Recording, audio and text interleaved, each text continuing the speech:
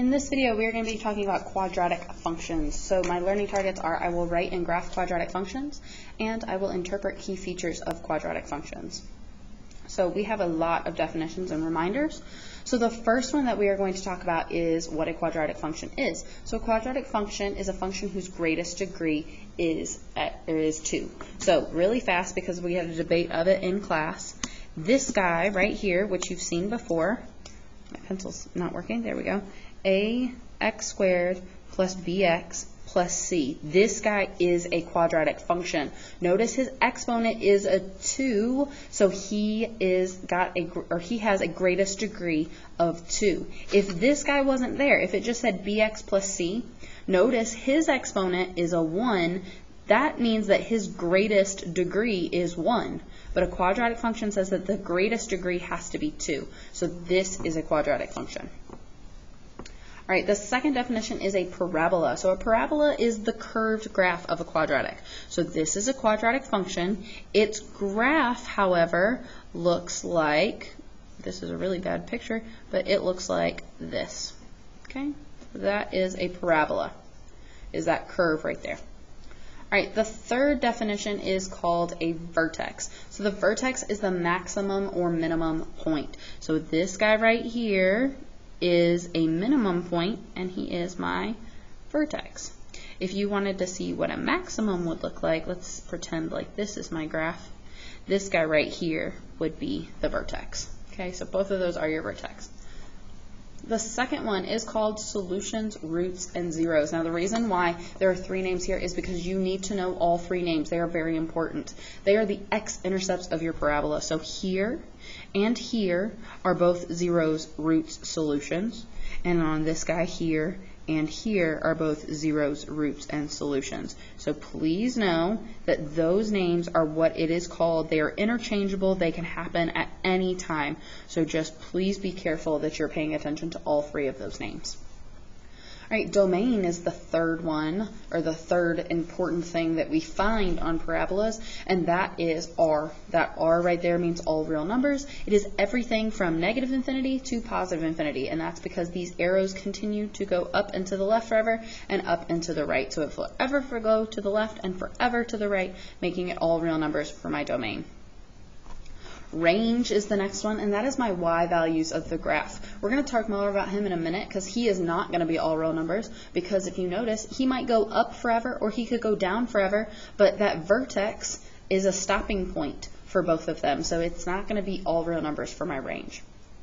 My axis of symmetry is the line that splits the parabola into two symmetric halves, and it always goes through the vertex. So in this case, my y-axis is actually my vertex, the line, or uh, my axis of symmetry, what's splitting it there. Here, my axis of symmetry is this line right here that kind of cuts through it. So I'm going to try to make that a little obvious to see in my picture right here. But this is my axis of symmetry. I generally abbreviate it and call it an AOS. Okay, so axis of symmetry is the line that cuts it in half. All right, so now that we've talked about all those little key parts, let's talk about one other thing really fast, and that's how to get a, a table to an equation.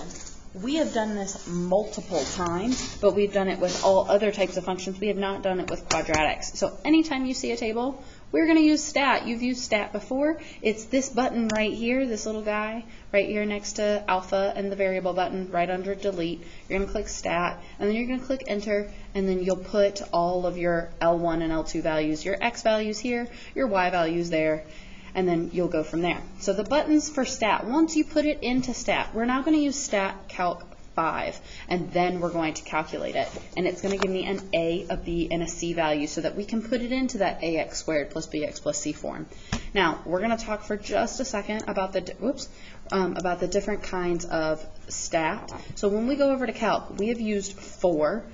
4 is for linear equations because it only gives me an a and a b for my slope and my y-intercept we have used 0, which is my exponential guys right there. And that was when we were given an a and a b for a times b to the x. And now we're talking about quadratic, which is this guy right here. Do you see how he says quad reg? So, because that's when we're talking about quadratic functions. So just know there are three different ones. In this case, we're using five. All right. So let's talk about some examples. So my first example is what are the key features of this following quadratic right here? So I'm not going to show you the graph yet. So this guy right here is x squared minus 2x minus 3. Now, what I recommend doing is graphing him first. Now, whether you graph him on the calculator or whether you graph him on paper, it does not matter. In order to graph him on paper, however, I had to, I found the points. So this guy right here is my graph. Okay, so I said if you're going to graph it on paper, you're going to have to type this guy into y equals, then click second graph to get a list of points. So I'm going to show you how I did that.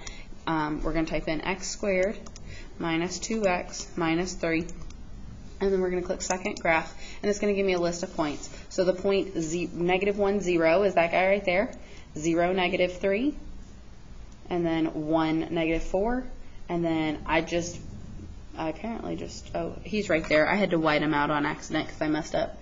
I just didn't make him dark again. So then that's the point 2, negative 3, and then of course 3, 0 is right up there. So that is how I got those. All right, so I'm going to kind of finagle my paper all funny so that we can see all these. So we're going to talk about the key features. So the first one that pops up that I did not define because I'm hoping that we know it is y-intercepts. The y-intercept is where it crosses the y-axis.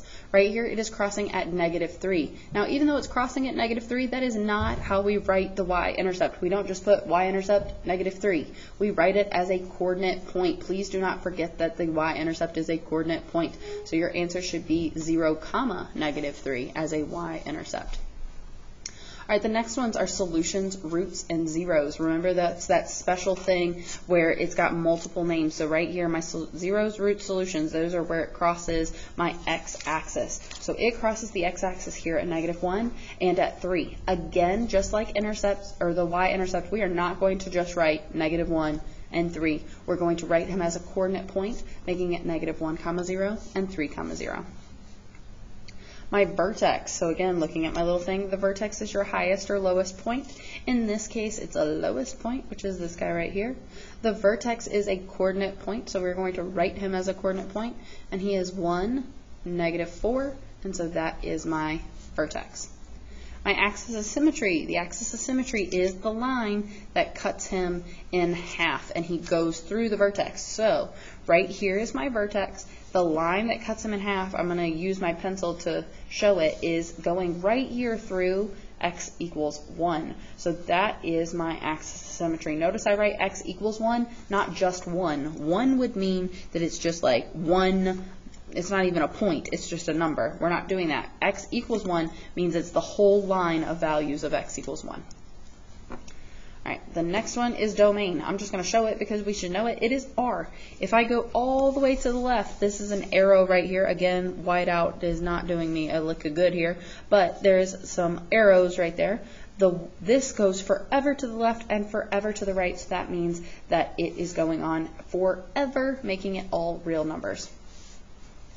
Last but not least is my range. So range is my y values. Now we just talked about what the arrows mean. The arrows means that it goes up forever and ever and ever.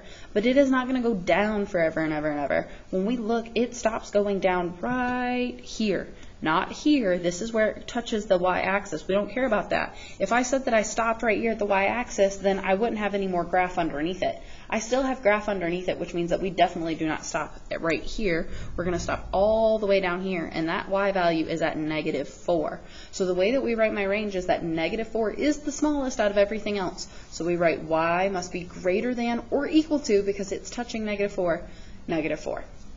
So I did want to add this in right here because this is something that is extremely true and really nice to know. It says your AOS, the axis of symmetry, and the y value of the vertex are always the same. So look right here, my vertex is 1, my axis of symmetry is 1. That is always going to be true. If your vertex x value is 1, then your axis of symmetry is 1. Or if your vertex x value is 5, then your axis of symmetry is 5. Whatever this first value is, is your axis of symmetry. The second good thing to know is that the range and the y value of the vertex is always the same. That vertex is super important. So right here, negative 4 and my range, negative 4, are the same number. That's because the lowest point is at negative 4 for my y value. That's why my range and my vertex go together. All right, let's do this one. Given the table, what are the key features. So I'm giving you a table. Here he is. I'm going to try not to show too much. So I'm going to give you a table, and we're going to have to find all the key features. So the very first thing that we're going to have to do is we're going to have to go into stat, because that's what we do when we're given a table. So we go all the way up to the top, clear down. We're going to type in our x values. So negative 4, negative 3, negative 2, negative 1, 0. We're going to go over to the other side and type in negative 3, 0, 1, 0, negative 3. Stat over to calc. When we go over to calc, again, we're not going to click 4 because 4 says linear. We don't want linear, we want 5 because it's quadratic. Click enter. Go all the way down to calculate. Click enter again, and it's going to give me my A, my B, and my C. Forget about R squared. I still have stat mode turned on and have never turned it off. So here's A, B, and C. So those three guys right there are my A, B, and C values. So when I write my equation, okay, my equation is going to be negative x squared, because my A value is negative 1, so that's negative x squared, minus 4x, because the B value is minus 4, negative 4, minus 3, because my C is negative 3. So that gives me my equation. Now I'm going to graph it, go into y equals, I'm going to graph that guy, negative x squared minus 4x minus 3. Did not realize I had all that extra stuff back there. Mm, there we go. All right. We're going to click graph so that we can look at the graph while we are doing all my key features. All right. So that's not a very easy way to see the graph, but there he is. Okay. So the first guy is, of course, my y-intercept. So we're going to look for my y-intercept.